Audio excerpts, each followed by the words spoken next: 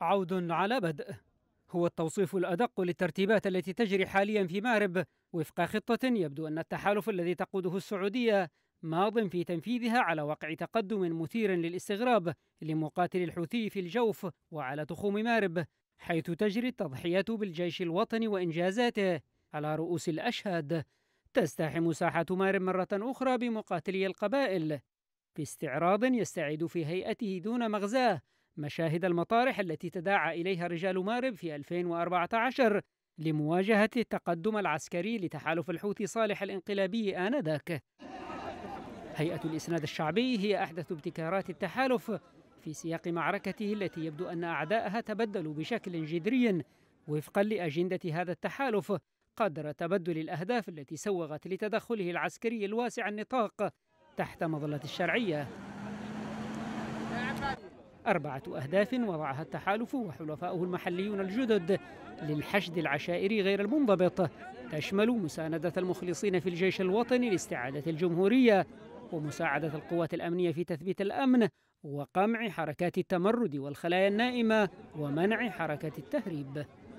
هذه هي رسالتنا للحوثيين. هذه هي قبائل مراد أتت وخرجت بحدها وحديدها تقول للحوثي هنا مراد.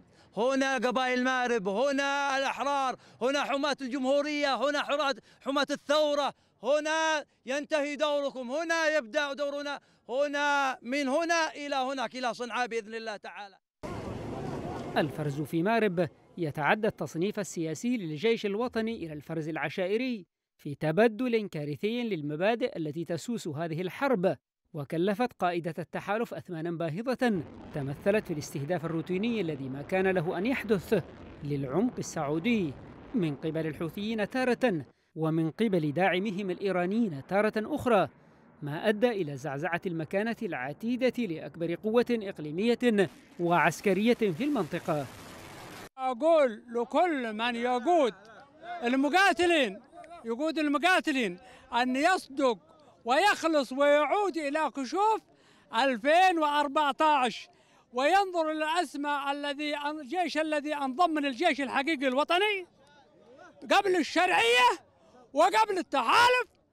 خلال خمسة أعوام مضت جرت في مارب مياه كثيرة فقد بنى التحالف والشرعية رؤيتهما للمواجهة في هذه المحافظة على النواة العسكرية التي مثلتها المنطقة العسكرية الثالثة. وإليها انضم متطوعون ليشكلوا فيما بعد الجيش الوطني.